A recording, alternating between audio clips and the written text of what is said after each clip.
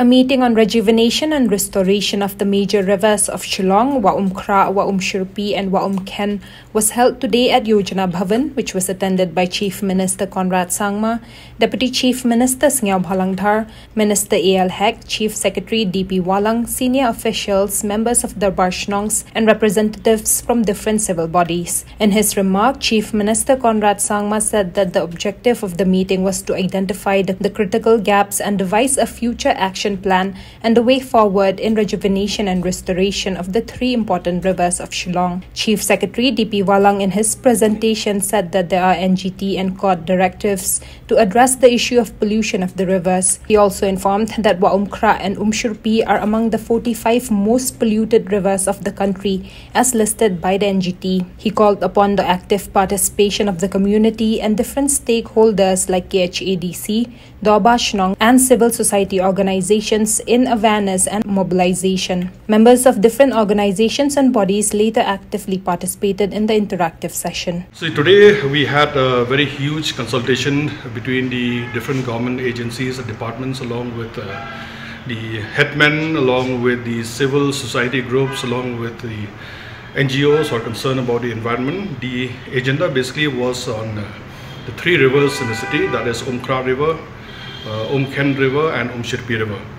We had a very constructive uh, uh, meeting in which the Honorable Chief Minister, the Deputy Chief Minister in charge of Urban Affairs and also Minister from, was the MLA from Pynthorumkhrah, which is one of the uh, main basin uh, area of uh, was also were also present and a number of decisions were taken we highlighted uh, that uh, what is the present scenario of the rivers the three of them and also uh, what the uh, NGT orders uh, pertaining to these rivers uh, were and what action has been taken, the gaps in the action that we have been we have been taking also discussed and also what will be the role of uh, all of us as uh, stakeholders.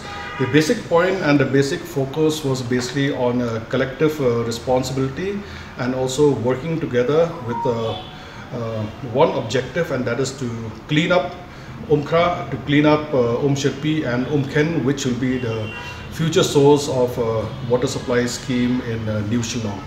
So we had a very good meeting. All of us uh, were in uh, one mind and unanimously agreed that we should work together with various agencies and the civil society groups and the headmen and I'm sure that uh, concrete results will be visible very soon. In fact, uh, in my presentation, it was very clear. I had, uh, you know, uh, shown the drone uh, images of uh, Wamkra right from the source up to Mawlai area and also Umshirpi right from the source up to the Umshirpi bridge.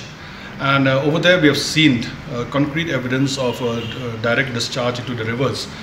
The First meeting that we had internally was on the 6th of April and that was the meeting in which we decided we have to consult all the uh, other stakeholders and make it a, a bigger collective body.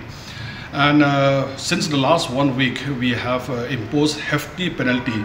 In fact, anyone discharging directly into the rivers and anyone having faulty septic tanks and defective septic tanks, if they don't repair in 10 days time, uh, fine will be imposed at the rate of 500 rupees per day.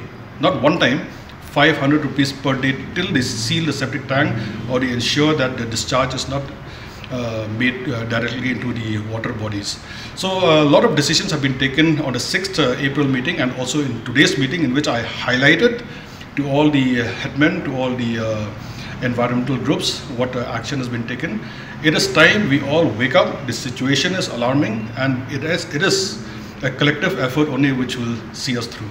There are two cases pertaining to uh, NGT and uh, I've highlighted both the cases uh, in today's meeting and also shared the operative uh, part of the order. In fact, uh, there is no order for dismantling the structures, but the order basically is for ensuring that you know, uh, the liquid waste is not discharged directly into the rivers. So in the presentation I made today, 32 um, uh, areas have been identified, uh, 20 along Wamkra and uh, 12 along the They are known as the fall-off areas in which we need to set up STPs and five of them have already been uh, set up now and under construction I mean. And the remaining we are looking for land. Wherever government land is available we'll set up these STPs if not we have asked for the cooperation of the local darbars to give us land so that we'll set up these STPs as per the direction of NGT.